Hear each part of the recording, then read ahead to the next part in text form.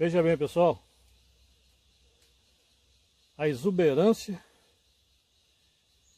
da espécie nativa madeirável mais cultivada no Brasil. Conhecida vulgarmente no estado de Rondônia, Pinho Cuiabano e Bandarra. Em outros estados do país, por Paricá. Agora você imagina a importância dessa espécie no mercado interno e externo? É o que nós iremos dizer hoje. Tá? O paricá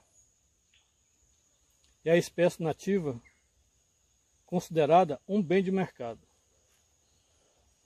O que é esse bem de mercado? Existe a produção de matéria-prima, o processamento e mercado interno e externo. Garantido. Os irmãos Matana, quando prospectou na década de 80 a implantar floresta plantada com paricá no estado de Rondônia, eles não imaginavam que essa espécie ia alcançar esse feito no mercado nacional. E hoje nós temos algumas empresas autossustentáveis que não trabalham mais com ela nativa. Tá?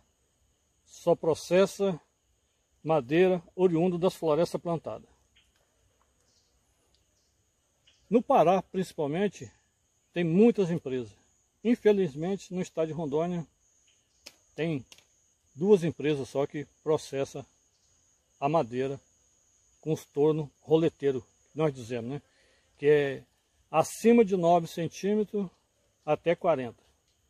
É a, a bitola ideal para processar as, as plantas de floresta plantada. Posteriormente agora, iremos demonstrar a regeneração natural dessa espécie no estado de Rondônia, que é fantástica. Tá? É o estado com maior incidência de regeneração natural da espécie paricá, é o estado de Rondônia. Na frente vocês vão ter conhecimento por qual motivo que existe uma grande concentração de regeneração em nosso estado. Um dado importante sobre a espécie paricá é sobre a regeneração natural. Em Rondônia, a espécie com maior concentração de regeneração natural é o paricá. Aqui mesmo nós estamos numa área onde houve essa regeneração. Tá?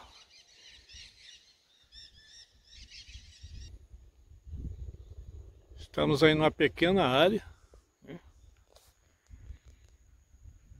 mas com a população bem considerada da espécie.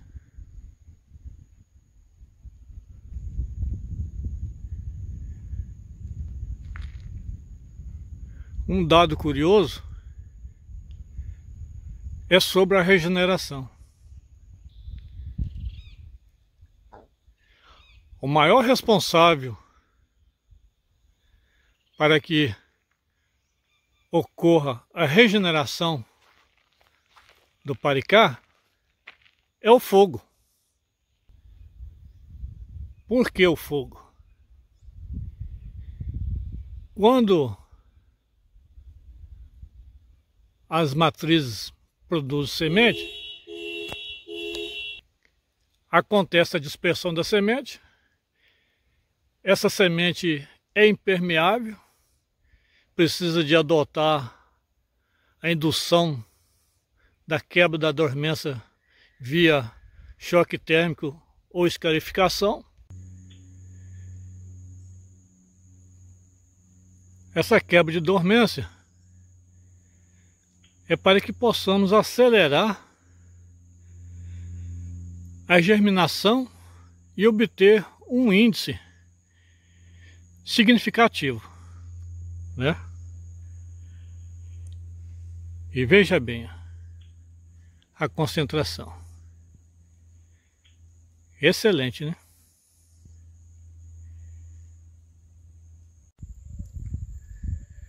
Uma empresa que processa madeira para produzir compensado, a sustentabilidade desta empresa é devido a esta atividade. Cultivar a floresta plantada para obter a sua matéria-prima e ser autossuficiente. Ou seja, não precisar de processar madeiras oriundas das florestas nativas. Para ter ideia, essa floresta aqui está com apenas 40 meses.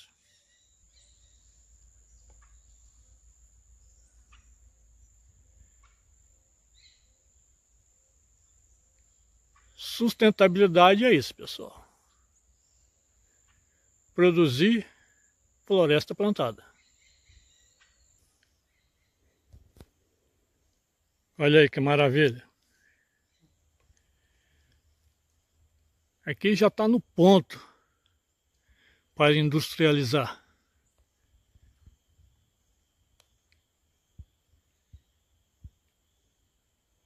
Esquizolóbio amazônico.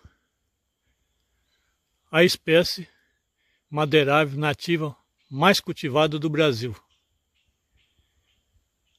Aí, empresário, vamos ser autossustentável. A diferença, né?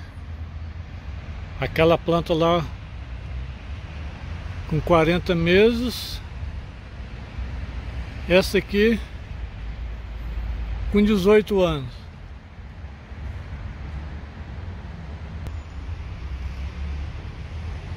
Então, amigo empresário, a sua oportunidade está aqui, ó. Floresta plantada. Olha aí, ó. CAP 203.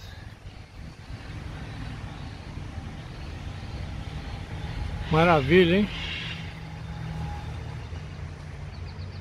Palicá. Sustentabilidade.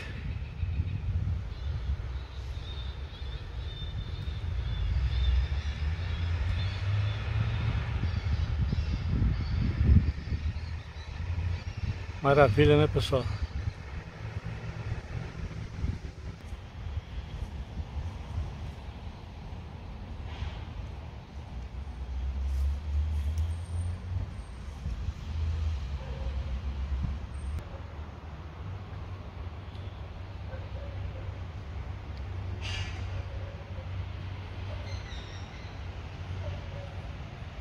Isso aí.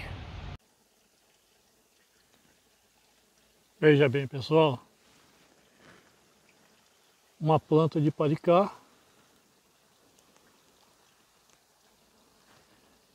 Em plena floração.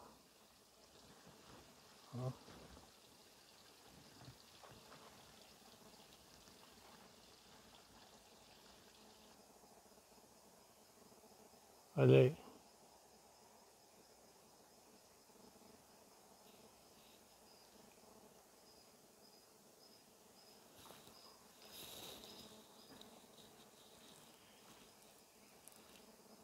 Outra matriz, porta semente, né?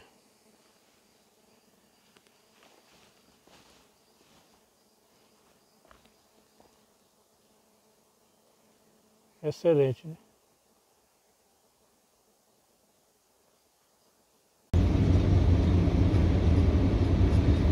Matéria-prima oriunda das florestas nativas.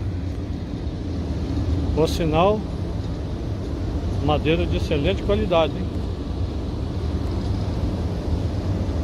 Olha aí.